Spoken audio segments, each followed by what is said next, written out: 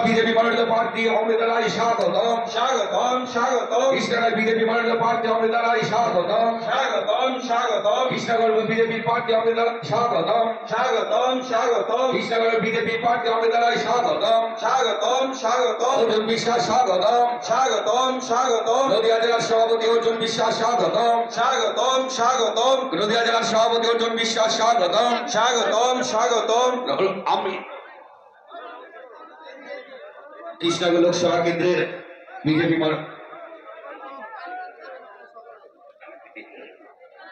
BJP প্রার্থী তো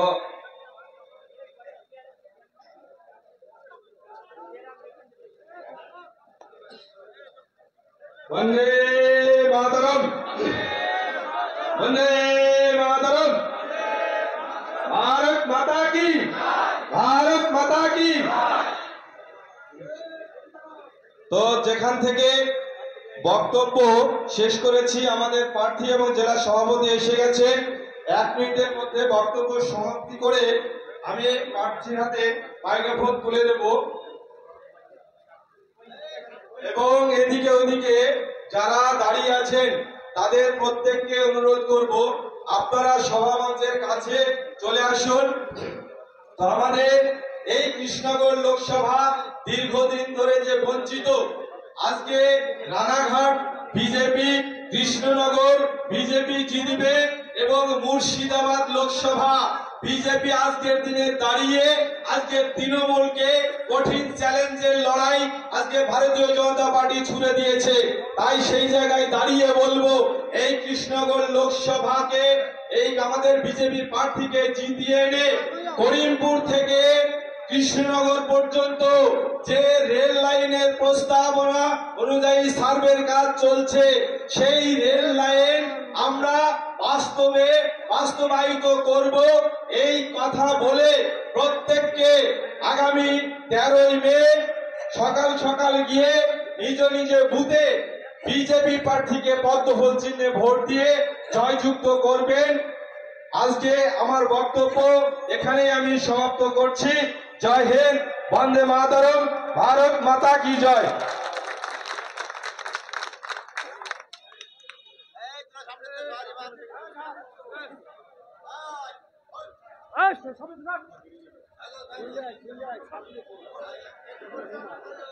মূল্যবান বক্তব্য পেশ করলে শ্যামলদা, শ্যামলদাকে আমাদের পক্ষ থেকে করি অভিনন্দন।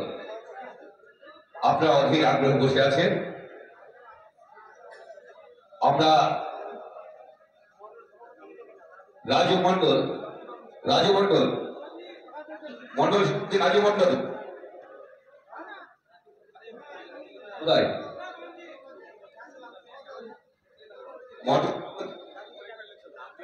মন্ডল সভাপতি রানী মন্ডল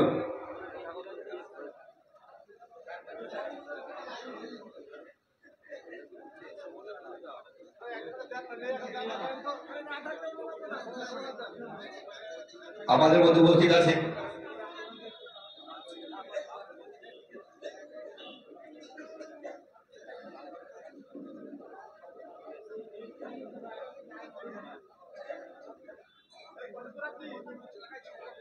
আমাদের মধ্যে উপস্থিত আছেন নদিয়া উত্তর সাংগঠনিক জেলার সভাপতি, এলাকার পরিদলাক্ষ নেতা অর্জুন কুমার বিশ্বাস মহাশয়কে উত্তরীয় পুড়িয়ে বরণ করবেন সোমা রায় মহাশয়।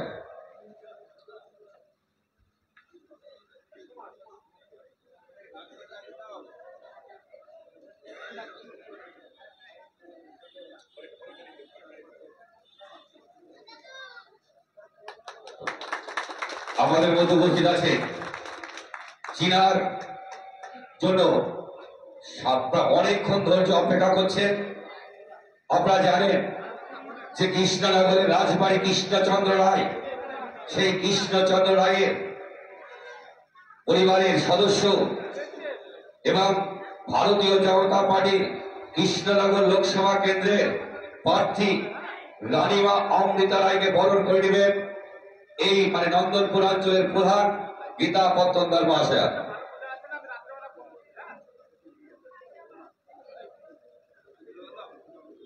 বন্দে মাতরম বন্দে মাতরম বন্দে মাতরম বিজেপি জিন্দাবাদ বিজেপি জিন্দাবাদ অমৃতা রায় জিন্দাবাদ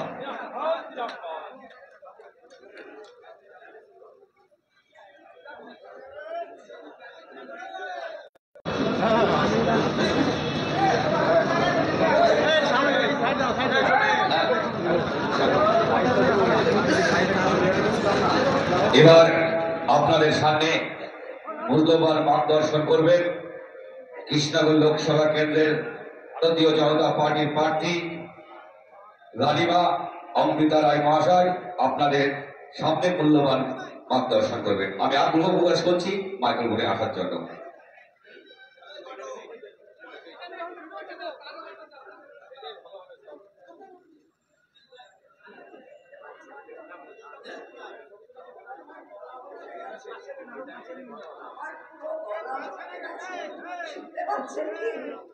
শুনতে পাচ্ছেন পুরো গলা বসে গেছে সবাইকে নমস্কার শুভেচ্ছা অভিনন্দন ও অনেক ভালোবাসা পরিচিতি করতে এসেছি সবার সঙ্গে দেখা করতে এসেছি আপনাদের ক্যান্ডিডেটকে আমি মানে পরিচয় করার জন্য আমি সবার ইচ্ছে আমার অন্যতম কার্যকর্তা এখন প্রদেশের কার্যকর্তা অর্জুন বিশ্বাসী পরিচয়কে।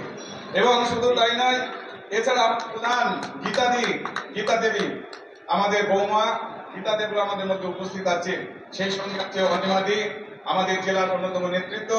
এছাড়া আছে আমাদের দীর্ঘদিনের সাথী, আমার দীপক বিশ্বাস থেকে শুরু করে, সৌমেন্দা থেকে শুরু করে, আমি আরও দেখছি অনেকে আছে সুনীলদা থেকে শুরু করে, এইরকম আরও অনেকে আছে। যাদেরকে সেই সঙ্গে উপস্থিত সমস্ত ভারতীয় জনতা পার্টির কার্যকর্তা কর্মীকে আমার গৈরিক অভিনন্দন। আজকে আমরা উপস্থিত হয়েছি ভারতীয় জনতা পার্টির দু হাজার চব্বিশ সালে যে লোকসভা নির্বাচন, এই রাজ পরিবার থেকে কেন ভারতীয় জনতা পার্টির এবার প্রার্থী হলো, সেটাও একটা আলোচ্য বিষয় এবার। মূল আলোচ্য বিষয়, কেন একটা রাজ পরিবার থেকে এবার অমৃতা দেবী প্রার্থী হলো? আমরা জানি যে উনিশশো সাতচল্লিশ সালে যখন পনেরোই আগস্ট দেশ ভাগ হয় দ্বিজাতি তত্ত্বের ভিত্তিতে এই ভারতবর্ষ ভাগ হয়েছিল। আর আমরা জানি তৎকালীন সময়ে এই গঙ্গার এপারে সমস্ত এলাকা নদিয়া থেকে সমগ্র নদিয়াকে সেদিন বাংলাদেশের তৎকালীন পূর্ব পাকিস্তানের অন্তর্ভুক্ত করেছিল তৎকালীন কংগ্রেস সরকার। কিন্তু এইখানে তখন রাজা ছিল, রানীমা ছিল জ্যোতির্ময়ী দেবী। তার জ্যোতির্ময়ী দেবী সেদিন গজরে উঠে বলেছিলেন, যেহেতু দ্বিজাতি তত্ত্বের ভিত্তিতে এই ভারতবর্ষ ভাগ হয়েছে, আর যেহেতু এই এলাকায় সংখ্যাগুরু মানুষের বাস তাই এই এলাকা ভারতবর্ষের অঙ্গীভূত করতে হবে। আর সেই সময় আমরা জানি, সেই সময় তার সঙ্গে সঙ্গ দিয়েছিলেন আমাদের পার্টির স্রষ্টা পাতেশ্বরের ডক্টর শ্যামাপ্রসাদ মুখার্জি। সেদিন যে আন্দোলন করেছিলেন, আর সেই আন্দোলনের ফলে আমরা দেখেছিলাম যে লর্ড মাউন্ট ব্যাটেন সেটাকে মানতে বাধ্য হয়েছিলেন এবং উনিশশো সাতচল্লিশ সালের আঠারোই আগস্ট এখানকার ভারতের পতাকা উড়ে আজকে এই যে নদিয়ায় যেখানে বসে আমরা আজকে মিটিং করছি, যেখানে বসে আজকে মহুমিত্র বড় বড় কথা বলে যাচ্ছে আজকে সেই দাস সেই স্থান হচ্ছে আমাদের এই রাজ পরিবারের জ্যোতির্ময়ী দেবীর পদোন্নতায় আমরা এই স্থানে বাস করছি। আজকে সেই জন্য, আজকে শুধু তাই নয়, কৃষ্ণনগরের যে দুর্নীতি, কৃষ্ণনগরের মানুষের ভোট নিয়ে মহামন্ত্র যেভাবে ভারতবর্ষের গোপন তথ্য বিদেশে পাচার করছে, টাকার বিনিময়ে, লিপস্টিকের বিনিময়ে ভ্যানিটি ব্যাগের বিনিময়ে, বড় কুকুরের বিনিময়ে, আজকে সেই মহামন্ত্র তার যে এই অপকর্মের ফলে আজকে তাকে দেশদ্রোহীর অপরাধে তাকে বরখাস্ত করা হয়েছে সাসপেন্ড নাই, বরখাস্ত করা হয়েছে। ভারতবর্ষের মধ্যে কোনো প্রার্থী যদি এমপি যদি বরখাস্ত হয়, মহামন্ত্র। আজকে সেই মহামন্ত্রকে, আজকে যে চোরের দল হিরক রাজা, রানী, যেটা আমাদের মাননীয় শুভেন্দু দা বলছে, আমাদের বর্তমান মুখ্যমন্ত্রীকে। আর সেই মুখ্যমন্ত্রী আজকে সেই মহামন্ত্রকে আবার এখানকার প্রার্থী করেছে। সাধারণ মানুষের পর্দায় দেখেছেন। রানীমার সঙ্গে প্রধানমন্ত্রী কথা হচ্ছে, আমি তার সাক্ষী, আমি আর রানীমা একই ঘরে ছিলাম, এবং সেখানে যেহেতু বাইরের আওয়াজ যদি না যায়, রানীমা যাতে ভালোভাবে কথাটা শুনতে পান, আর সেই জন্য একটা ঘরের ব্যবস্থা, এবং আমি পাশে থেকে সমস্ত কথাগুলো উনি শুনেছেন। আমাদের মাননীয় আর একটা হচ্ছে অমৃতা দেবী। আজকে সেই অমৃতা দেবীকে উনি বলেছেন, একশোটা প্রকল্প আপনি নির্ধারিত করেন। বিভিন্ন জায়গায় যে প্রচারে যাবেন, প্রচারের দিকে গুরুত্বপূর্ণ যে স্কিমগুলি আপনি সেখানকার মানুষ যেটা দেবে সেইগুলিকে আপনি লিপিবদ্ধ করবেন।